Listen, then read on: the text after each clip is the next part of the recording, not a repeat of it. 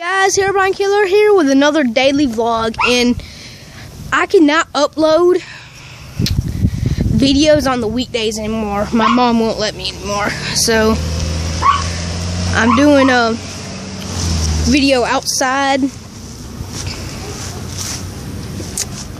So next weekend me and my family are going to go to Atlanta and that's probably going to be really fun. And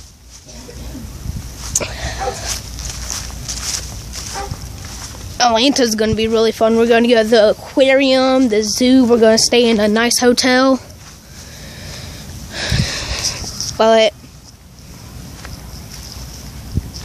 let's get at least 2,000 views on this or 200 views. Yeah, let's go for 200 views and at least 100 likes.